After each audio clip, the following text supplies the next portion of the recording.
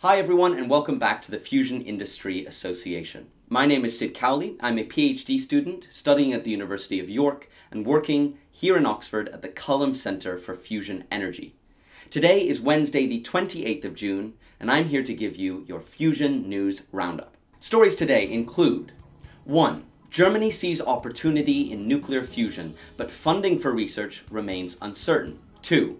With $10 trillion on the line, six fusion investors explain why they're all in. 3. UK-US partnership for nuclear fusion rockets. 4. Why the mother of dragons at SpaceX left her job building rockets to work on nuclear fusion. And 5. Energy Subcommittee hearing, From Theory to Reality, the limitless potential of fusion energy.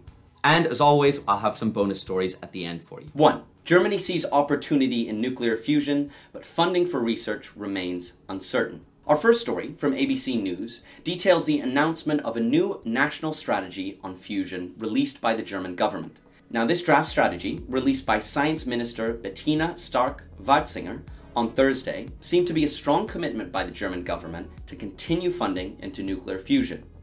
As part of the national strategy, Watzinger announced, we want to address both magnetic and laser fusion. Now this is a key change in direction since the country currently only invests roughly 149 million euros per year into laser fusion. Its main focus is magnetic fusion. So this investment into lasers is expected to increase, but currently the exact proposed increase is unknown. Of course, this increase in laser fusion resources will also be great news for the private laser startups, such as the German-based Fusion Industry Association member Marvel Fusion, and FIA member Focused Energy, which has previously received grants from the German government. As well as increasing commitments to lasers, Germany intends to continue its funding into magnetic confinement fusion. This includes continuing its contribution to the International Tokamak ITER, but also includes funding the domestic world-class stellarator, the Wendelstein 7X in the north of Germany, and one of the most powerful tokamaks in operation today, ASDEX Upgrade, near Munich. 2. With $10 trillion on the line, six fusion investors explain why they're all in. This next story is a culmination of six fantastic interviews with Fusion investors to understand the promises and pitfalls the investment community sees in Fusion. Speaking to people from The Engine, Breakthrough Energy Ventures, Congruent Ventures, Khosla Ventures, Chrysalix Venture Capital, and the MCJ Collective. Now, for me, this is an incredibly interesting article because we hear a lot about public and scientific opinions on nuclear fusion, but we don't often hear about investor opinions, which are, I think are really crucial for developing a private fusion industry. The article highlights the optimism of many investors, driven by scientific advances in key fusion supporting technologies such as superconducting magnets or lasers. According to Tai Nguyen, partner at the MCJ Collective, this recent renaissance in fusion has seen a blossoming of diverse technologies. Now, the investors also talk about the ability for private fusion to fund more risky fusion approaches, which is very exciting. Approaches that, as Joshua Posamentier, managing partner at Congruent Ventures puts it, largely couldn't get funded given the gravity of tokamaks and laser inertial fusion mega projects. Finally, the investors talk about some of the risks in investing in fusion, which I think is important as well. A key challenge in fusion investment is timeline. Katie Rae, CEO of The Engine, said, if you have a traditional five to seven year time horizon venture fund, it is difficult for fusion investments to make sense. But according to investors like Rae, the immense impact and economic potential of fusion justifies investing in a slower timeline. After all, the world spends more than 10 trillion US dollars on energy. And if fusion could capture just a part of that market, it could be transformative. 3. US-UK partnership for nuclear fusion rockets. This story from World Nuclear News covers a recent collaboration agreement for nuclear fusion. But instead of the usual application for fusion that you might be expecting of energy generation, this partnership focuses on another fascinating application of nuclear fusion, rocket propulsion. But why are we looking into fusion propulsion in the first place? Well, relative to present day chemical propellants, fusion has a significantly higher potential energy density. This means the ratio of your payload to fuel mass can be much larger, and rockets would be able to reach much farther destinations, like Pluto, for example. This particular article covers a partnership between the Oxford-based company Pulsar Fusion and Princeton Satellite Systems, the parent company of the FIA member Princeton Fusion Systems. The partnership aims to develop predictive simulations that may be used to design fusion propulsion systems. They will do this by studying electron and ion behavior in the Princeton Field Reversed Configuration device, which was developed at the Princeton Plasma Physics Laboratory. Now this collaboration aims to leverage a lot of new and groundbreaking physics, such as AI, among other tools. Now one of the many reasons I love fusion is how futuristic and science fiction it feels. And stories like this are so exciting to me. Stories which show the sci-fi-like possibilities of nuclear fusion and plasmas. 4. Why the mother of dragons at SpaceX left her job building rockets to work on nuclear fusion. Our next story today comes from CNBC and covers Darby Dunn, who held several production and engineering jobs at SpaceX and was even unofficially referred to as the mother of dragons for her work on the SpaceX Dragon spacecraft. However, in January 2019, Dunn changed her career and started working on the Massachusetts-based fusion startup Commonwealth Fusion Systems. The article covers her transition to fusion and her motivation behind it. Discussing her motivation for the switch, Dunn tells CNBC, For me, it really came down to wanting to use my energy to clean up the planet instead of getting off it.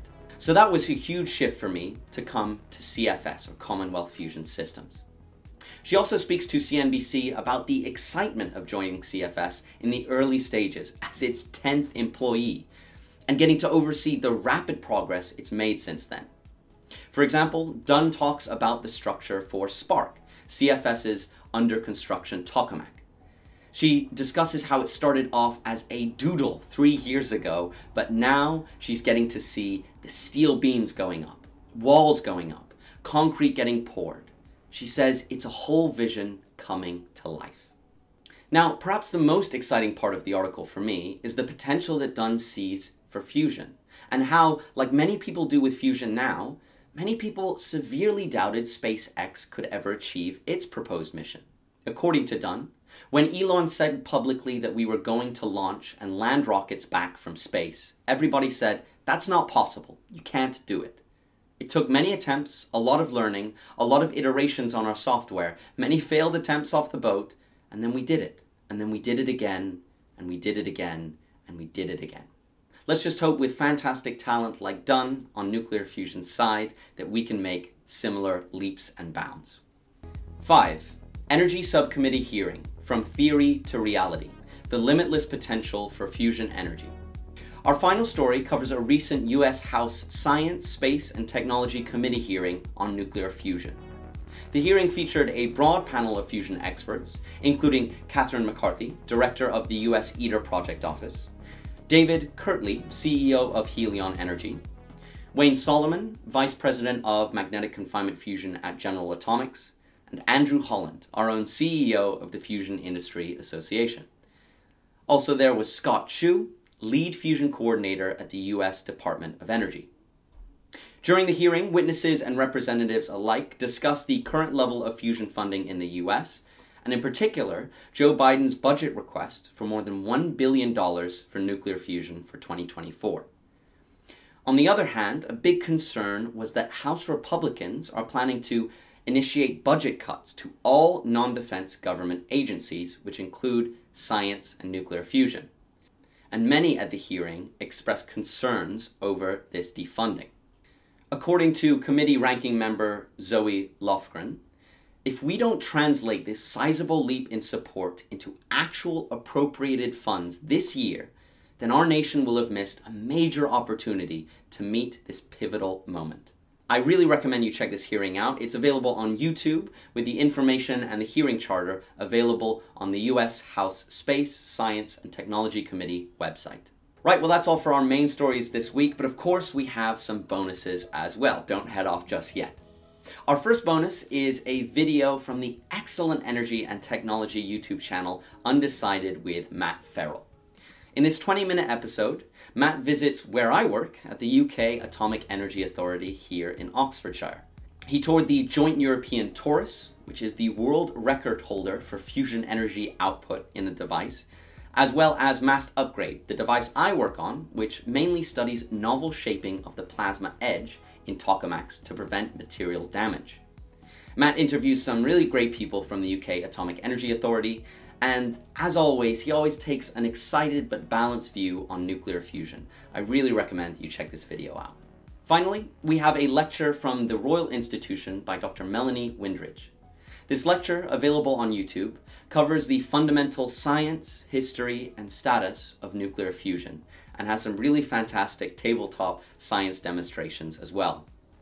Melanie really is one of the best communicators in nuclear fusion, and I do recommend you check this lecture out. It's really engaging and so much fun. Right, well that's all for Fusion News this week. If you enjoyed, please, as always, we love to hear your support through likes, comments, or subscriptions to our channel. And of course, if you want to take a deep dive into any of the stories mentioned today, the links will be in the description, and we have our Fusion News Extra podcast as well. Thank you so much for watching, and I'll see you next time.